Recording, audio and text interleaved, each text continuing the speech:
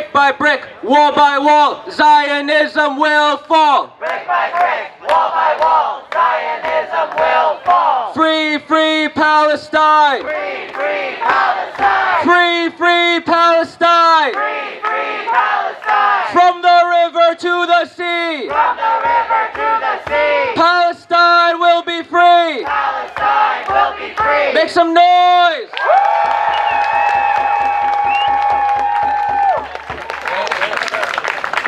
Hi everyone, thank you so much. My name is Youssef. I'm an organizer with the Palestinian Youth Movement.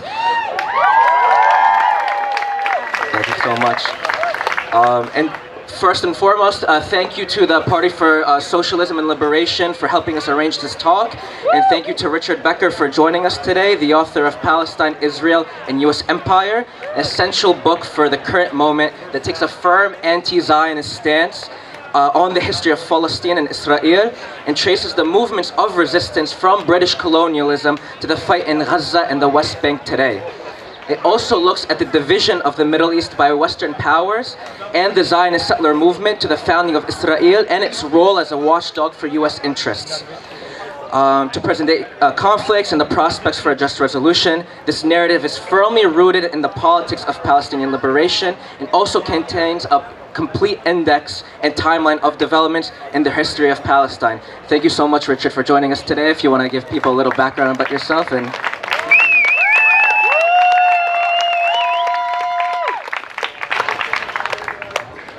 Thank you very much. And uh, yeah, my name is Richard Becker. Before I say anything else, I, I would really urge people to read the book Trinity of Fundamentals. It's really something. It's a, a unique book. When I when I started reading it, I couldn't stop. I read 190 pages all in one sitting because it's such a compelling book, and it's such it's such a, a gift to the to the movement that PYM has translated it and all the work that's gone in to making it now available uh, after 25 years to people who uh, do not read Arabic. So uh, I've, I've been involved in the solidarity movement since the early 1980s uh, and have had the privilege, and it's a real privilege and it's hard one to come by now, to travel to Palestine on a number of occasions and also to other countries in the Arab world which have been the victims and still are the victims of U.S. imperialism. So our book uh, is one that uh, first was first published in 2009. Uh, it has been updated and was republished just a couple months ago, and it, it uh, has been published uh, in this country, and uh, we anticipate it will also be translated and published in other countries as well. And so, thank you all for being here. This is so inspiring to see.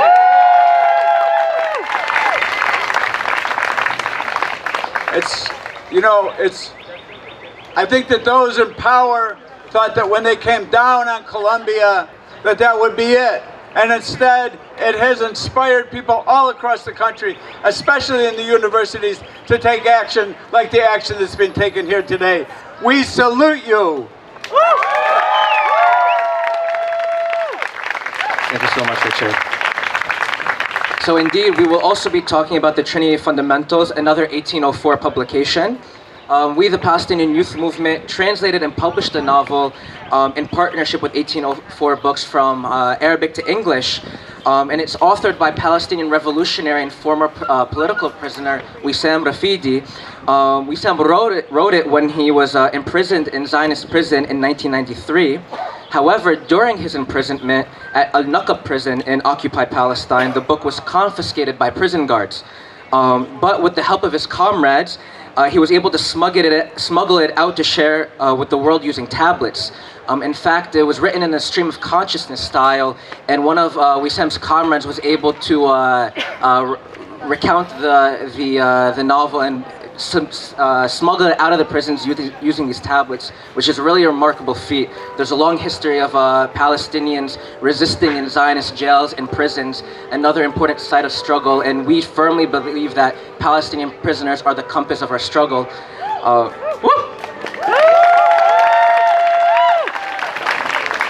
so yeah, we're incredibly grateful um, and fortunate to have this book with us, um, this important work of literature and political commentary in our hands.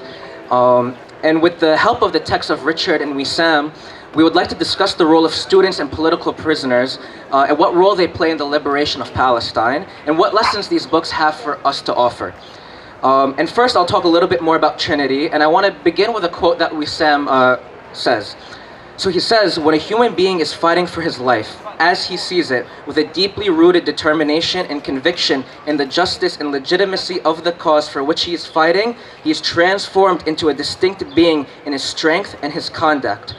And I, will, I would like to say that our students leading the encampment today in solidarity with Gaza are ins inspired by the steadfastness of the Palestinian people and guided by a political objective are truly embodying, embodying the spirit of Wisam's words. And they have shown us strength and conviction.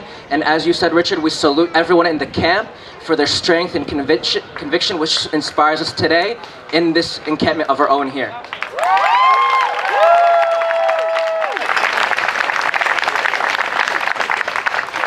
So the war and genocide in Gaza has really revealed one of the most significant contradictions to the entire world. The political class, the corporations, the reactionary parties, and all types of elite institutions, including universities, are conspiring, as they have for decades, to destroy people that continue to be at the forefront of the battle against imperialism. More importantly, this genocide has also revealed to Palestinians and to Arabs and to the masses more broadly that through organization, collective sacrifice, and protracted confrontation, we can undermine imperialist Zionist ideology and widen the cracks in its public image. An imperialist ideology that is manufactured and exported by universities like GW and the consortium of DC universities here, which are actively complicit in the occupation, colonization, and ethnic cleansing of Palestine through their endowments, investments, and academic partnerships. Shame! Shame! Shame! Shame! This political moment is significant and powerful. The SJPs are inspiring people across this country to be a part of this unprecedented moment and movement. How can we, uh, how can we embolden people to increase their capacity for individual sacrifice, the sacrifice that we see now and are inspired by? How are revolutions built and sustained? What is the importance of knowledge production in times of war and revolution, especially in these sort of settings where universities aren't here and the pub and education systems in this country aren't meant to, to, make, uh, to make thinkers but rather workers. How do we combat that? These are questions that Wisam's novel really challenge us to confront and inspire us to answer. The novel popularizes Palestinian history of the First Intifada in the late 1980s and early 1990s through a first-person account that allows us to understand what it means to be committed in a political project and what it means to make a personal sacrifice in service of a collective struggle and the collective good. The themes are intensified in this political moment, given the context of what's happening in Gaza and Palestine, but far surpass this moment. And it's our duty, our revolutionary duty, to use this moment to engage people on the importance of organization and collective sacrifice in the struggle for justice. The story in uh, Trinity of Fundamentals is actually inspired by Wisam's real-life experience documenting the protagonist, uh, Canaan, uh, and his nine years of hiding from the Zionist occupation. Nine years of hiding in the Zionist occupation, during which time he organized and actively struggled against it. Love, revolution, and life are the trinity of fundamentals that pave Canaan's struggle forward. And some of the themes explored in the novel include the impact that sacrifice, um, revolutionary sacrifice, have on personal relationships and the inner self. The role of students in the university in the Palestinian liberation struggle, as well as different entry points to political organizing, and the impact that has on the long-term commitment and discipline of organizers.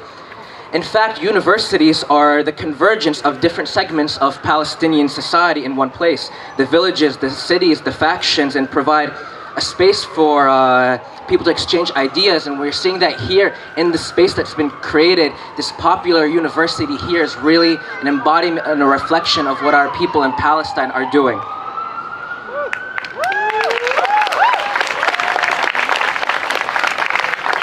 Wisam also describes the political commitment that characterizes the behavior of students, and the most important type of commitment in this regard is deeply rooted in ideological and political conviction.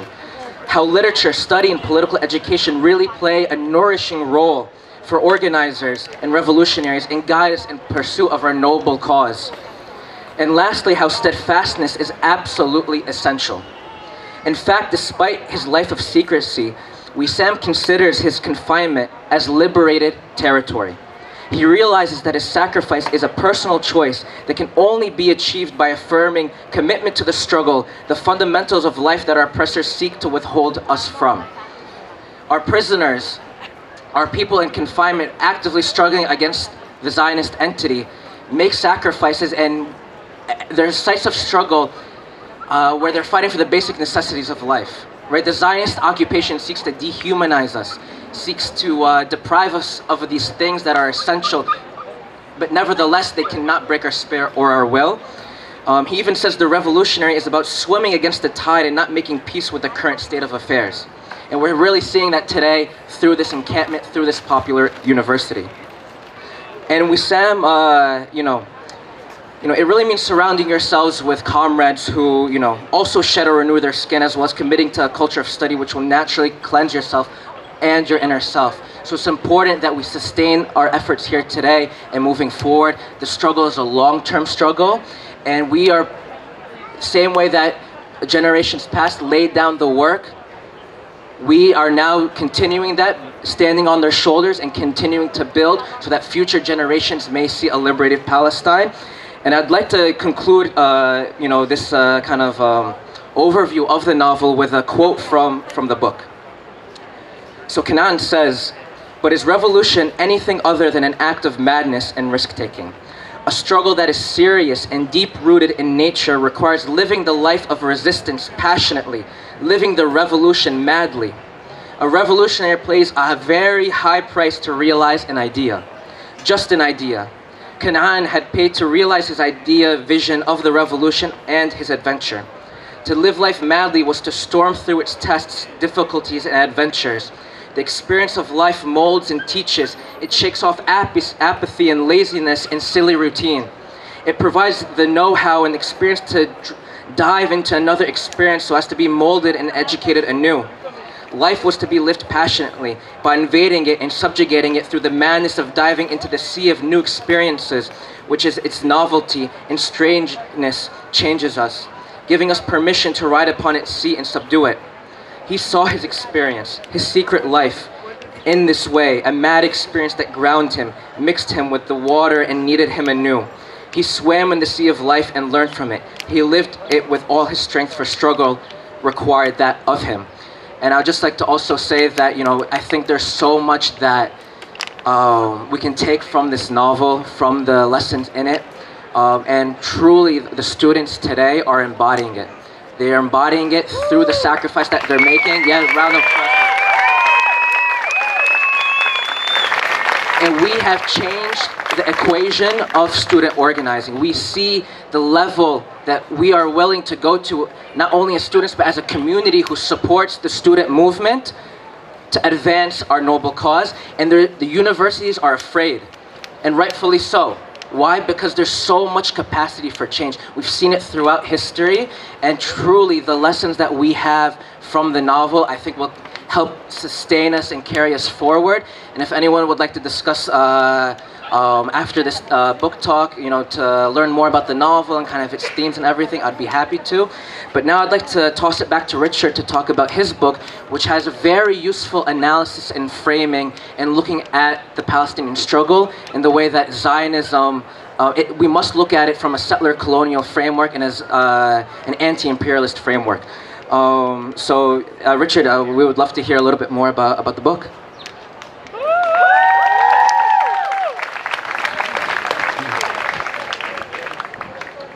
Uh, thank you very much. And uh, I wanted to say at the beginning that we wrote this book in 2009 and it was updated in the last few months. And a lot of the work that was done in it, the chronology, the endnotes, which are very valuable, uh, the preface by PYM, uh, and uh, the work that was done by my comrades in the Party for Socialism and Liberation meant that this is really a collective effort. My name is on there. I wish there were other names on there too, but the publisher decides. Uh, so this book was is really meant to be a resource for activists. It's meant to show, uh, to demystify this many myths that have surrounded this issue, this struggle, and to show that uh, what the intention was of the organizers of the Zionist movement what their intention was from the very beginning in their own words. And I think that that's what makes it such a useful, a, a useful for, uh, instrument for the movement. So I just want to talk about what some of the main themes are, which I think have continuity from the beginning of the Zionist movement and down to and resonate down till today. That at the beginning, it was on the one hand, the Zionist movement, a reaction to very real anti-Semitism uh, in much of Europe and the United States. Uh, but at the same time, it was from the very beginning a European colonial movement. And how do we know that? They said so. Uh, they said so themselves. We are a colonial project. And they were a colonial project that, like all the colonizing projects, including the one that came here, had no respect at all for the rights of the indigenous people. And how do we know that? Because their favorite slogan was a land without a people for a people without a land. They did not consider the indigenous people of Palestine to have any rights that they were bound to respect. Shame. Shame. It was a contra- there, so there was that contradiction, and there was another contradiction which resonates right down to today, and that is that while it was an aspirational colonial movement, it had no army, it had no navy. It could not be, and you cannot be, a colonizing movement unless you have at your disposal the, the, uh, uh, the forces of violence that are necessary to compel an indigenous people to surrender their land. They're not going to do it voluntarily, of course. So what did this mean? It meant for the Zionist movement that it would spend its first 20 years after its founding in 1897, its first 20 years searching for a sponsor. They went to the Russian Empire, the home of the worst pogroms uh, and the worst anti-Semitism. It included Poland at the time. They went to the German Empire. They went to the Ottoman Empire, and the Ottoman Empire was the ruler over Palestine and Lebanon and Syria and Iraq and Egypt at that time. And they went to the British Empire. And it was the British Empire that became their sponsor with the Balfour Declaration. How many people know what the Balfour Declaration is? A lot of people. This has been a very educational six months, I would say.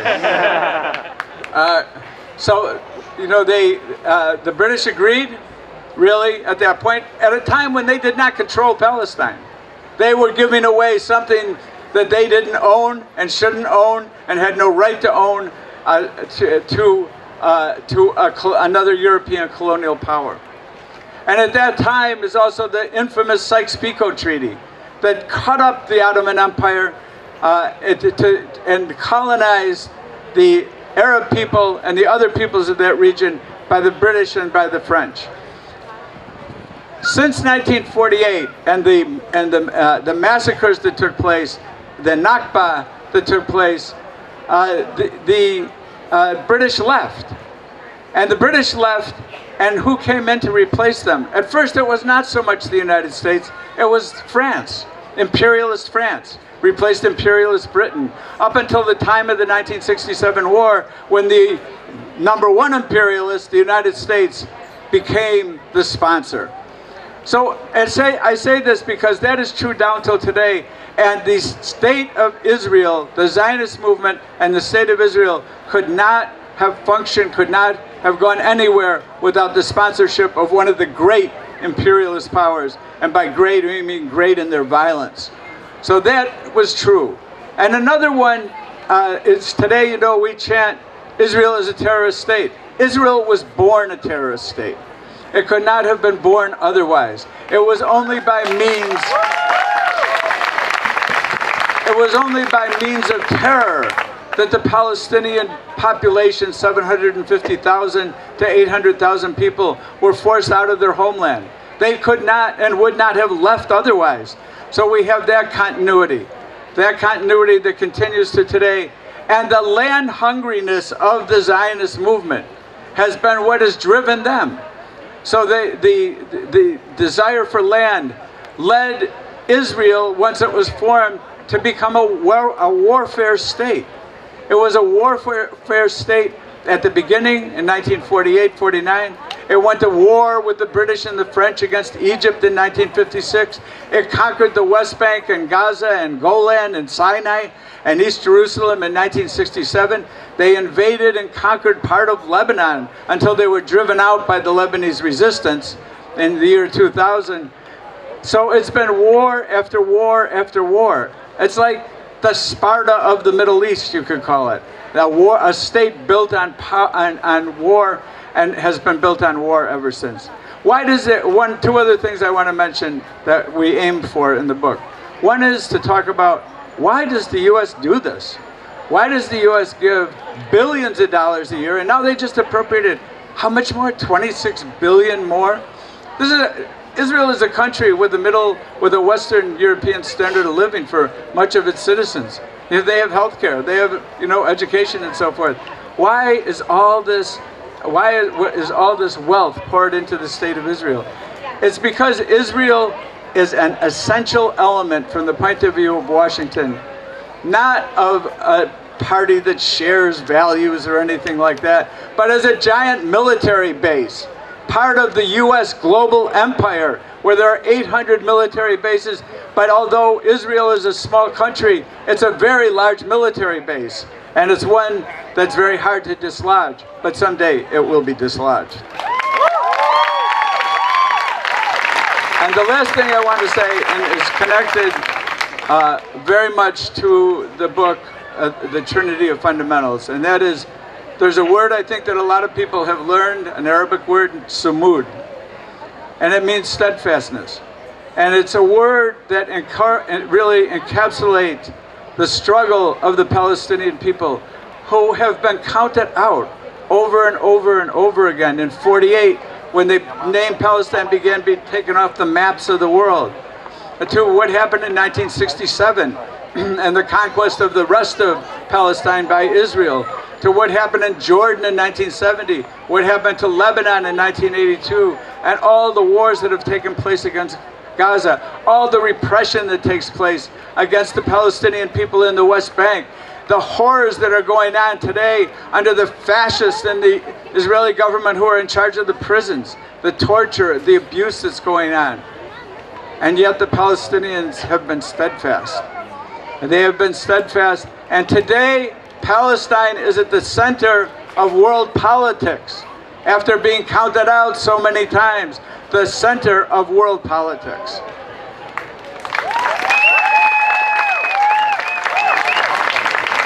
So let us, let us take a page from that great book of steadfastness and be steadfast ourselves and continue in this struggle until Palestine is truly free. Thank you so much, Richard. Uh, there was uh, there was uh, one bit that you had mentioned regarding, you know, how Israel was the benef- uh, you know, its benefactor was the uh, or patron was the uh, the British Empire and then the the American Empire.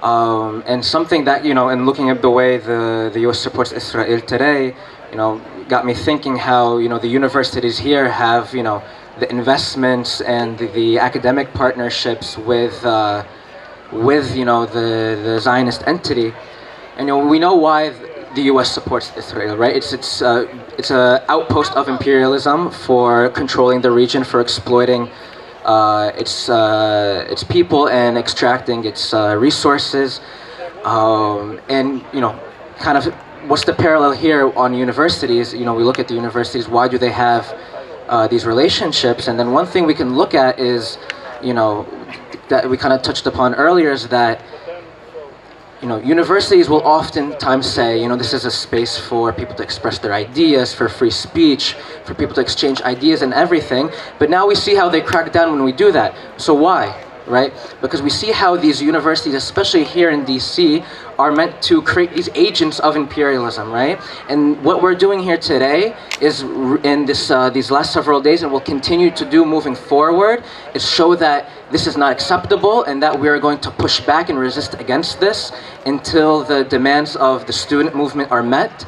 Um, and it's really important, you know, to, to really see those connections between imperialism and you know education, and you know it re- really underscores why political education and popular education is important.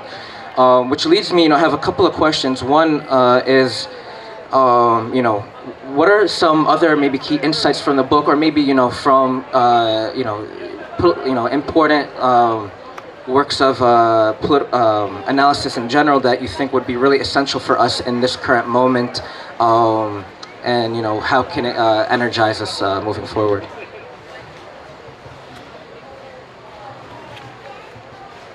This is a good question.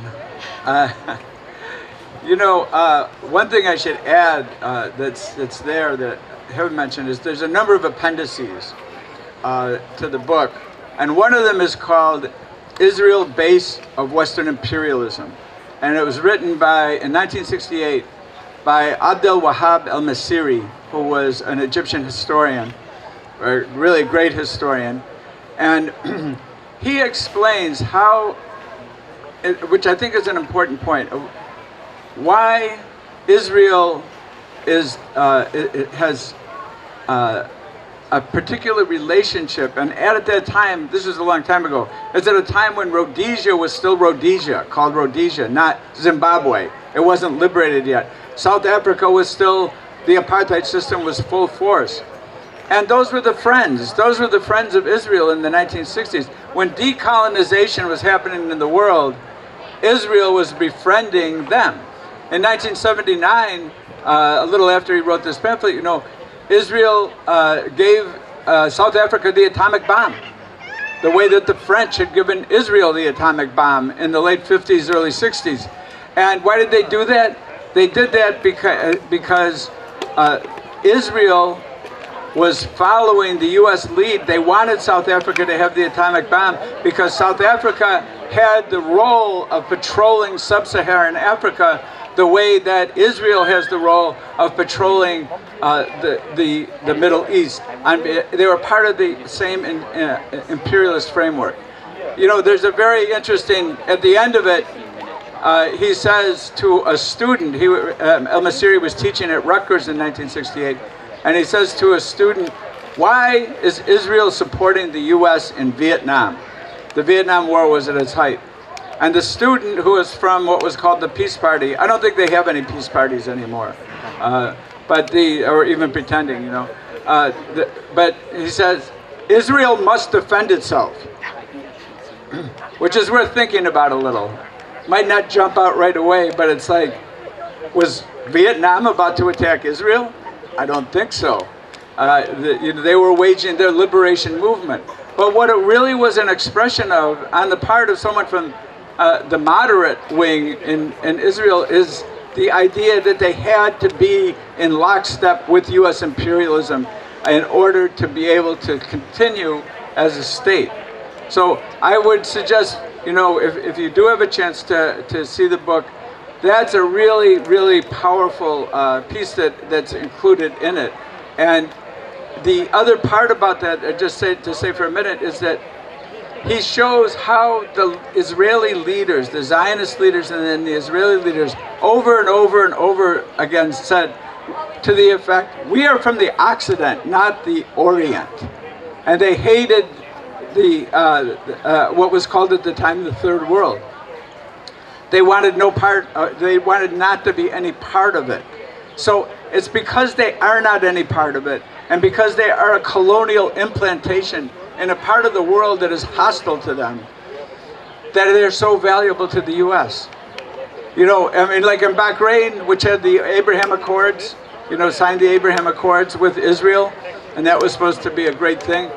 Uh, if the people of Bahrain could escape from the control of, the of that brutal dictatorship, they would overthrow the government of Bahrain and they would cancel the Abraham Accords. And from the point of view of Washington, that means they are unstable.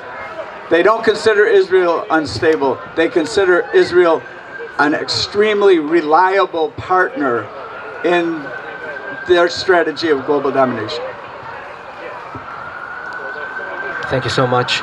Um, because we're coming a little bit close to time, I want to make sure that I, uh, uh, you know, open it up for questions. But before I do that, I have a question to pose to everyone here in the audience. Um, and we've kind of talked about it a little bit, but I really want to know what people here think. Um, and that is, uh, you know, why is political education important? Why is uh, why is collective study important? Why is it important that we, you know, have these spaces for each other to discuss, you know, these kind of books and you know these kind of analyses and frameworks? What, what is the purpose of it? Why, you know, fundamentally, why is it that we do this?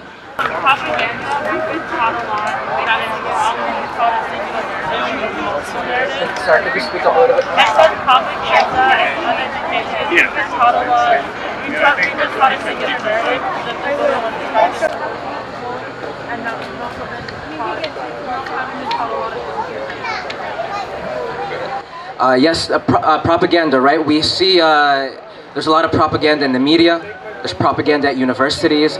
There's propaganda that uh, uphold these systems of oppression. And one of the weapons against uh, this uh, this type of propaganda is, you know, uh, political education and the type of propaganda that can uh, push back the, the truth that can push back against these uh, these uh, lies that are are fed to us, including in academic settings. Anybody else?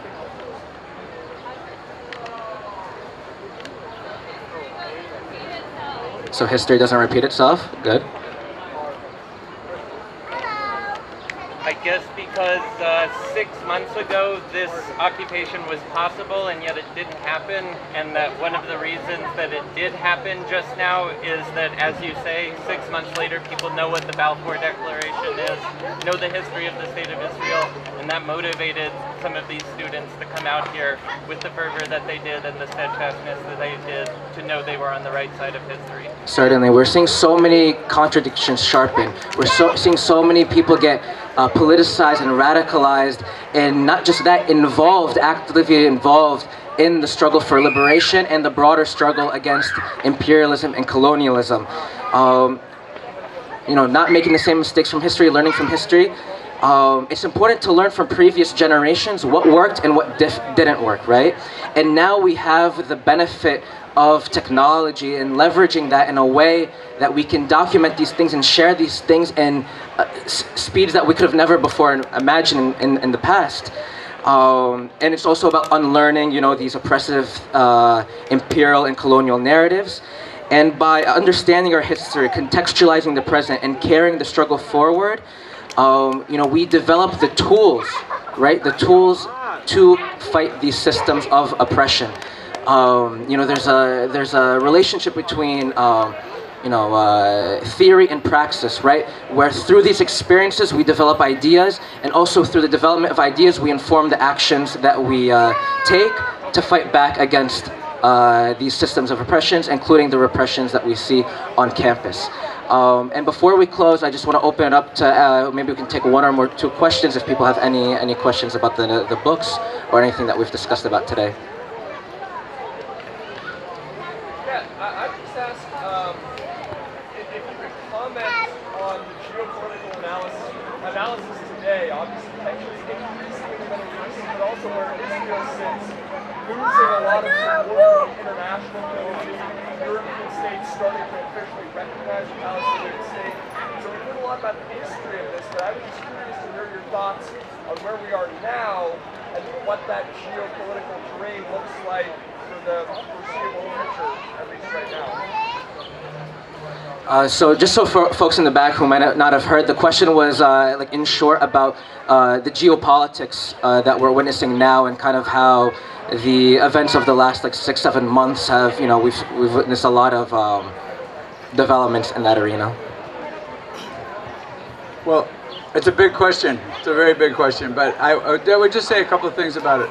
One is the main focus of U.S. foreign policy, imperialist foreign policy, is shifting to China. It's shifting from West Asia to East Asia, uh, and they're preparing for war with China, which can mean catastrophe, of course, for humanity. But it's exactly for that reason that Israel, in a certain way, takes on greater importance because West Asia, the Middle East, North Africa is still very important. So if the U.S. is shifting, this is the, you know, uh, way back when the Nixon doctrine was Israel and Iran should patrol the Middle East for the sake of the U.S. Well, Iran, of course, had the revolution and that's, that was over. But still, they, they have to think about this, about, you know, what, and so Israel remains extremely invaluable and irreplaceable from the point of view of domination of the Middle, of the Middle East. At the same time, there's a contradiction between the U.S. and Israel, even though it doesn't seem like it now. One is that the Israelis want land. They're seeking more land. They're seeking land right now. They want to take more of Lebanon again. They want to, you know, as Jared Kushner, you all know him, said, Gaza would make a nice waterfront area. You know, so there's that. They want land. They want, and the U.S. doesn't really. The U.S. leaders don't really care that much about Israel and land. What they're doing is managing an empire. And what Israel is doing, though, is making it harder for them to manage their empire because it's so, there's such great anger toward what Israel is doing and what the U.S. is doing as the backer of Israel, as everybody in the world who's paying attention now knows. So, just a very partial answer. Thank you. And I think we can take one more question from the audience. Yeah, um, this is sort of a geopolitical question relating to Israel's current uh, war on Palestine. How do you see this uh, reflecting the internal politics of both the U.S. and Israel in the administrations of Joe Biden and Benjamin Netanyahu?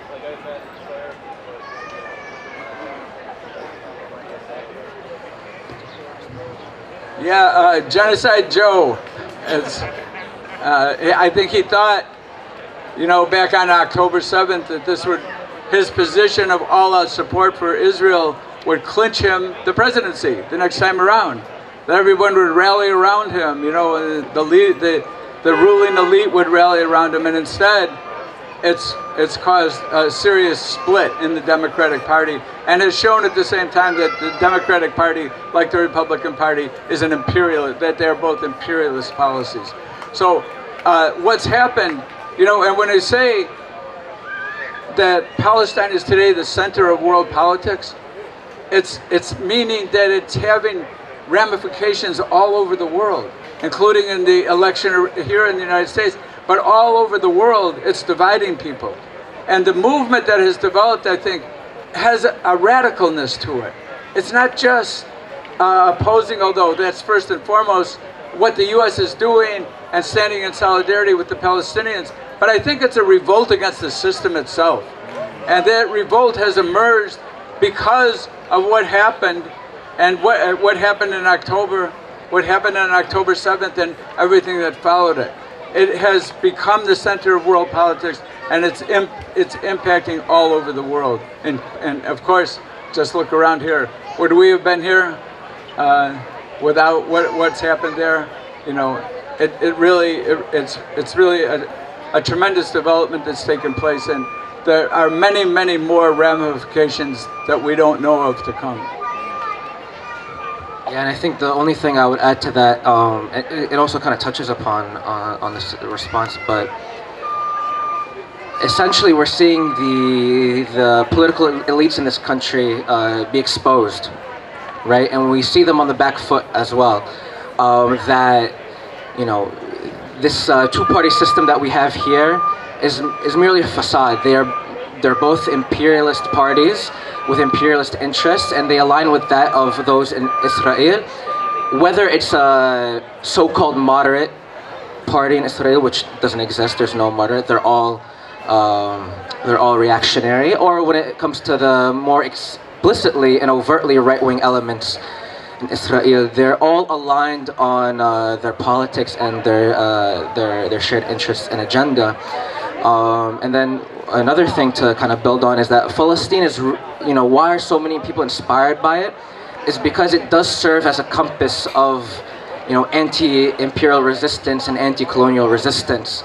Uh, people are really inspired by the way that despite seven, nearly 76 years of oppression, of ethnic cleansing, of, uh, of dispossession and displacement, and now of genocide, that we continue to fight back, we continue to stay strong and firm, and that we will not give up in pursuit of our legitimate rights, which is self-determination, a liberated Palestine, which is an end to the Zionist occupation and the right of return for all Palestinian refugees.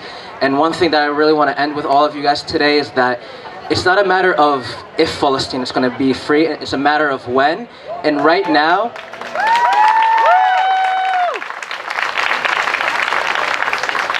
right now, this moment is a very important moment and step in that direction. And we have all important roles to play here in the diaspora, where the financing and the political, uh, the political um, legitimacy is uh, given to the Zionist entity. So we have an important role here to play, to fight back, to, to sharpen these contradictions, and to show that, you know, that the masses, not just here, but across the world, uh, do not accept what's happening in Palestine and that we will fight and we will continue and we will persist until we have liberation from the river to the sea. And thank you, Richard, so much, and thank you all of you for coming out today.